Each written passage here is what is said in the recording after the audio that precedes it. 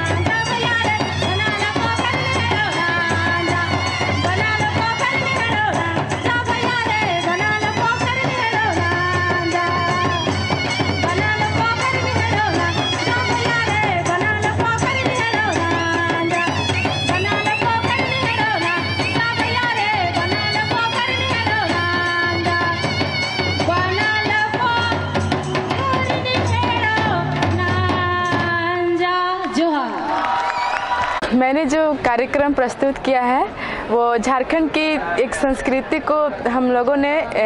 प्रस्तुत करना चाहा और ये जो कलश जो कड़सा नृत्य है, वो अक्सर देखा जाता है कि हमारे झारखंड में जब शादी का माहौल रहता है, उस वक्त इसे अपने सिरों पर लेकर इस नृत्य को करते हैं और इस, इसके जो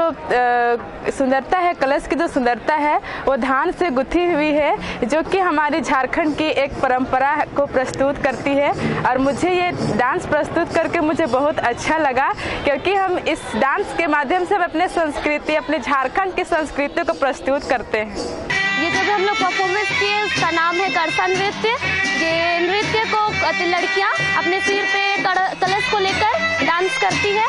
और डांस करती है और मुस्कुरा के बहुत अच्छे तरीके से डांस करती है। यह डांस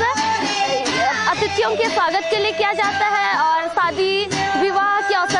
जाता है हम लोग जो यहाँ परफॉर्मेंस किए उसका नाम है करसन नृत्य जो शादी ब्याह में किया जाता है और मुझे जब हम लोग का सिलेक्शन हो रहा था हम लोग की जो राजधानी रांची वहाँ सिलेक्शन हो रहा था हम लोग को तो फिर जब हमें बतलाया गया कि हम लोग को दिल्ली के लिए जाना है आदिवासी दिवस के लिए तो हम लोग को बहुत खुशी हुई कि हम लोग की भारत की राजधानी जो नई दिल्ली है वो हम लोग को देखने को मिलेगा तो हम लोग सभी बहुत उत्सुक थे कि हम लोग घूमेंगे वहाँ फिरेंगे यहाँ आके भी बहुत खुशी हुई क्योंकि अलग अलग राज्यों का प्रोग्राम देखने को मिला, देखने को मिला, सीखने को भी मिला और हम लोग बहुत सी चीज़ सीख भी पाए वो लोग से। संस्कृति को सहेजना जानेंगे, उसके प्रति लोगों का लगाव होगा और इस तरह से सरकार अगर मंच देगी तो उनमें एक जागरूकता होगी कि हम अपनी कला को, अपनी विरासत को संजो के रख सकते हैं। Thank you